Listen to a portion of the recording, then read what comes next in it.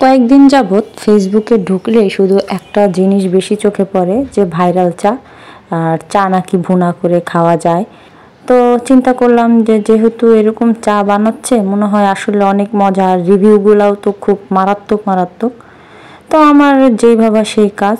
তো এত সুন্দর সুন্দর রিভিউ দেখে আমি আর নিজের মাথা ঠিক রাখতে পারলাম না। তো মন উথাল পাথাল করতেছিল যে কখন আমি এই চাটা বানিয়ে খাব।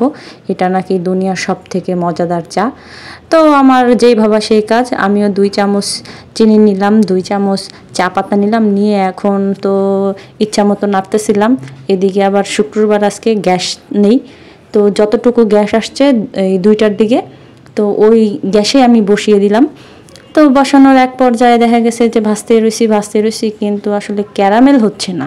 তো এটা নিয়ে আমি খুব চিন্তা করলাম। তো এরপরে দেখলাম যে না, আসলে একটু একটু ক্যারামেল হচ্ছে। এখন নাড়তে নাড়তে তো হাতের বারোটা বেজে তেরোটা ঘরে চলে গেছে। তারপরও নাড়াচাড়া তো থামছেই না। তো এদিকে আমি তো খুব বিরক্ত হয়ে যাচ্ছিলাম যে কেন নিছিলাম।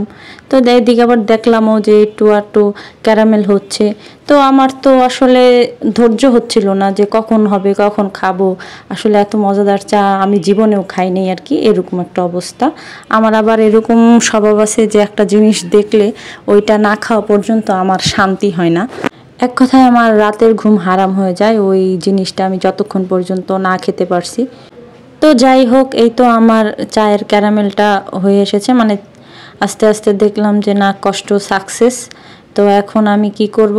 তো ওদিকে গ্যাস অনেক কম, যে কারণে দেখা গেছে যে আমার নাড়তে আরও বেশি কষ্ট হচ্ছে। যে যেই কাজটা আমি দশ মিনিটে করতাম, ওই কাজটা আমি আধা ঘণ্টা বসে বসে করছি। এই যে আমার চায়ের কালার আসছে, এখন আমি দুধগুলো ঢেলে দিলাম।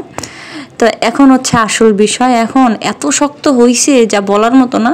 তো এরপরে খুব যুদ্ধ করে নরম কুইরা এখন আবার গোটাগুটি করতেছিলাম।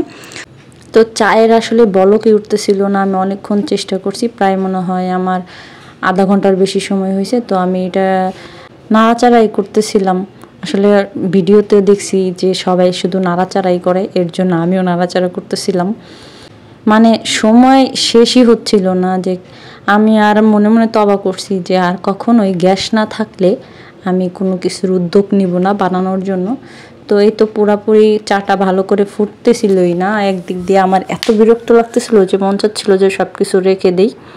তো আমি তো মনে মনে মহা খুশি যে জামাইকে আজকে নতুন কোনো কিছু ট্রাই করাবো।